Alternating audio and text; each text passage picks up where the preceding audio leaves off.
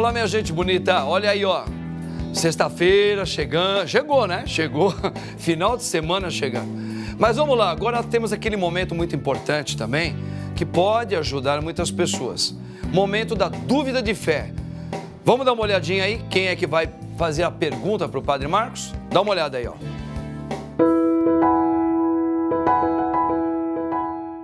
Bem, boa tarde. Queria saber qual é a diferença entre a religião judaica da religião católica? Porque Deus, Jesus, ele era católico, ou ele era judeu, judeus. E por que existe o católico, a, a igreja católica? Qual é a diferença entre essas duas religiões? Oh, que bonitinho. José Gabriel, lá de Juazeiro, Bahia. Obrigado, viu, lindinho? Deus abençoe sua participação aí. Olha aí, José. Na verdade, essa religião judaica, né, o judaísmo e o cristianismo, que é o católico, são co-irmãs, né? São religiões muito próximas. Existe um parentesco muito grande. O catolicismo, ele surgiu justamente é, como uma das raízes que vieram do judaísmo. Jesus, como você bem disse, judeu, família de judaica, Paulo, o grande Paulo de Tarso, judeu também. É que o catolicismo, a diferença é que o próprio Senhor Jesus, ele veio bem interpretar, ele veio interpretar a Sagrada Escritura de maneira que no Antigo Testamento e os judeus não conseguiam entender. Então, através de Jesus, através de Jesus, Jesus, ele promove o quê? Ele promove a vida da ressurreição. Ele mostrando que ele e o Pai, ele e o Pai são um. E os judeus entendem que Jesus e aceitam Jesus como um grande profeta, mas não como Deus. E no cristianismo, nós cremos que Jesus é Deus, como o Pai é e como o Espírito Santo é. Jesus, através da, do momento que ele ensinou a gente a viver, amando o próximo, aceitando o outro do jeito que ele é, ele nos deixou os sacramentos da igreja, que é os sacramentos do amor, os sacramentos que nos batiza, o, sacramento que nos leva à verdade no Espírito Santo. Então, as duas religiões, elas são co-irmãs. O catolicismo, ele, o judaísmo acredita na ressurreição também, mas eles rezam diretamente ao Pai a Deus Todo-Poderoso. Eles não consideram Jesus como Deus. No catolicismo, não. No catolicismo, nós temos Jesus como sendo Deus também junto com o Pai. Maria, Nossa Senhora, Mãe de Deus e nossa mãe. E os sacramentos que a Igreja Católica tem. Os apóstolos, ok? São todos da Igreja Católica. Então é um ramo que sai. Imagina um raminho que sai de um de uma, de uma planta ou de uma árvore que sai da mesma árvore, só que tem uma espiritualidade diferenciada. Tá bom? Obrigado, querido. Deus abençoe aí você, José Gabriel. E estamos juntos aí. Ó, da Bahia, Juazeiro. Que bonitinho, né? José Gabriel. Bacana. Mas olha só. Agora, agora chegou aquele momento que eu quero ver Alguém soprou aqui no meu ouvido aqui que parece que é um man. Um man acertou a pergunta. Deixa eu ver. Vamos ver primeiramente, vamos lembrar qual foi a pergunta que o padre colocou aqui. Mais ou menos fácil, hein? E parece que foi o man que acertou. Vamos, vamos relembrar a pergunta aqui, ó. Quais os sacramentos que são considerados os de cura. Quais são os sacramentos que são considerados os sacramentos de cura? Será que ele respondeu certinho? Cadê a resposta dele? Tá aqui, ó, deixa o padre ver a resposta dele. Opa! Certinho. Sabe como é o nome da, desse man? Dá uma olhadinha aí, é o Ariel Este, Esteves, né? Camelo. Natal, Rio Grande do, Rio Grande do Norte. Ariel, parabéns, man. Hey, man. Só poderia ser um man. Os homens estão voltando para a igreja, em Barba? Os homens estão voltando para a casa do Pai, que aqui é o lugar deles. Ariel, perfeito. Os sacramentos é o sacramento da confissão e da unção dos enfermos. São os dois que eles mandam embora o pecado quando a gente está arrependido e de cura. Cura também. Cura a alma e o outro cura a alma e o corpo também. Sacramento da, da confissão e também o sacramento da unção dos enfermos. A unção dos enfermos é o sacramento que também tem a absolvição dos pecados do penitente. Além do padre ungir as mãos, a testinha do penitente, pedindo a cura física. Certinho, Ariel. Parabéns, meu brother. Parabéns, parabéns mesmo. Não era uma, muita gente não sabe disso. Muito bem, vamos continuar lendo as intenções. Vamos ver como é que está o nosso povo aí. Olha lá.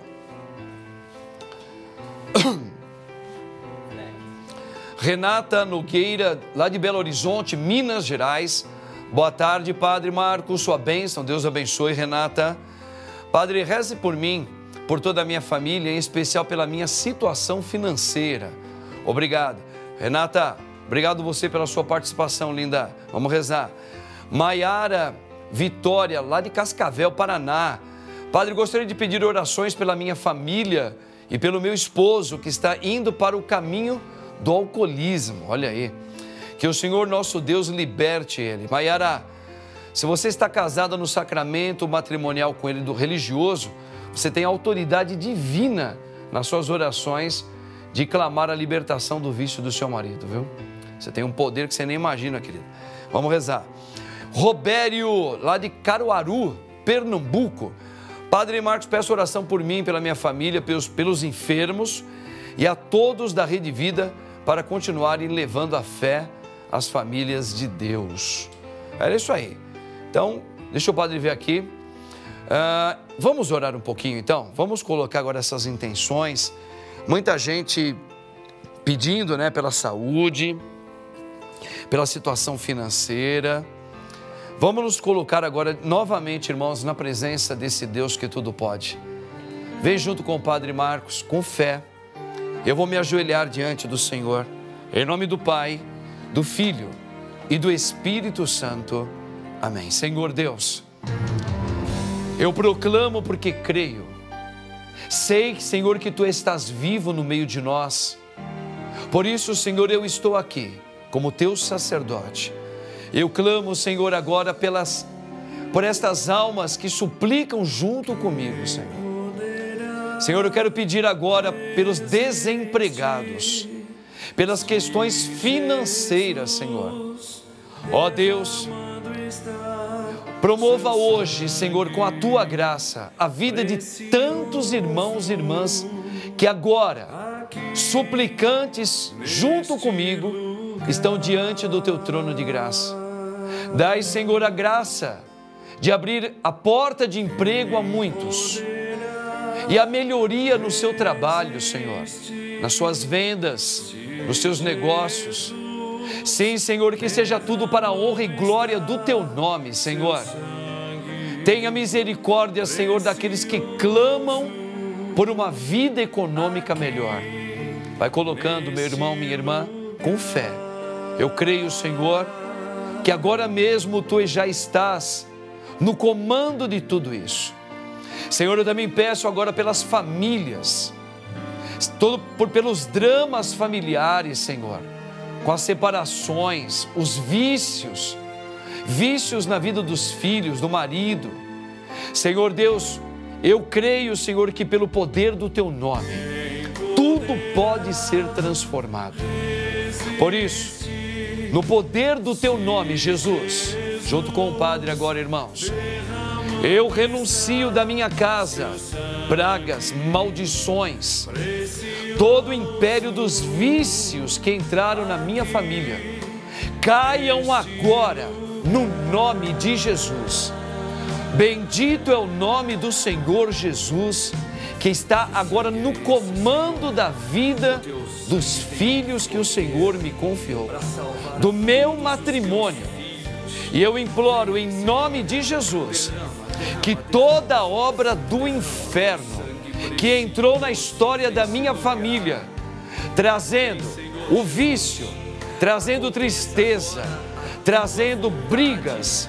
Eu anulo agora no poder do sangue de Cristo Jesus e proclamo: a cruz sagrada seja a minha luz, não seja o dragão meu guia.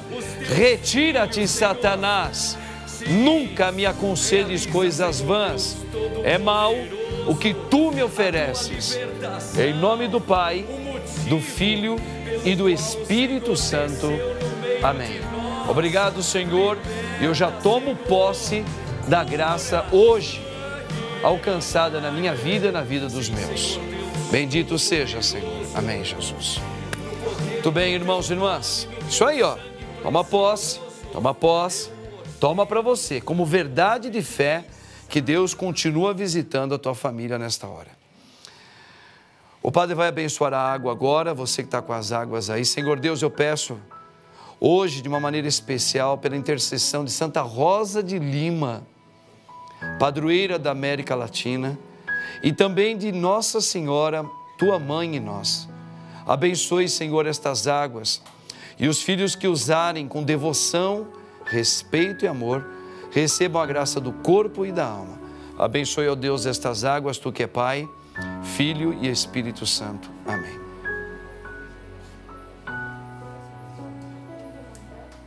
Amém, Jesus.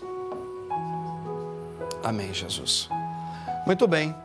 Gente, olha só, quero dar uns recadinhos importantes para vocês também, que tem a ver um pouquinho com o Padre Marcos. Então, é o seguinte, olha, amanhã, sábado, preste atenção, hein? Amanhã, sábado, dia 24, amanhã, eu, Padre Marcos, vou estar na minha paróquia celebrando a grande festa chamada Deus Trino Fest. Deus Trino Fest. Então vai ser um dia inteiro só de festividade. Vai começar amanhã às 10 horas com a missa que eu vou presidir. A partir das 11, nós já vamos ter lá na frente, na avenida, um palco preparado com atrações musicais. Olha, Castanha e Caju, vai o cover do Queen, vai uma dupla sertaneja, muita gente cantando, animando a festa o dia todo. Vai até às 10 horas da noite. Muita comida, muita alegria e eu vou estar lá para abraçar você, tirar uma foto com você, assinar um livro do padre, um DVD que você adquirir, enfim, para estar lá com você o sábado inteiro, tá bom? Te espero lá, lá na paróquia Santíssima Trindade. Fica na Avenida Marechal Fiuza de Castro. Marechal Fiuza de Castro, 861, São Paulo, Rio Pequeno, Butantã. Tem para ninguém. Te espero lá, hein? Ah, pai, tá meio friozinho, mas não vai chover amanhã, não. Em nome de Jesus, não vai chover. Vai lá, leva a sua família, vamos passar o dia inteiro lá. Tá bem, minha gente bonita? Na segunda-feira que vem, com a graça de Deus, estaremos lá no CTN. Quem quiser também nos acompanhar aqui em São Paulo, o Padre Marcos vai estar celebrando a missa lá carismática, é, juntamente com Diego Fernandes, às 8 horas da noite. Amém? E na terça-feira, se Deus quiser, estaremos aqui para proclamar mais uma vez que Jesus é o Senhor. O Padre vai dar a bênção agora para você. O Senhor esteja convosco, Ele está no meio de nós. Pela intercessão de Santa Rosa de Lima e da Virgem Mãe Maria, a bênção desse Deus Todo-Poderoso, Pai, Filho, Espírito Santo. Amém.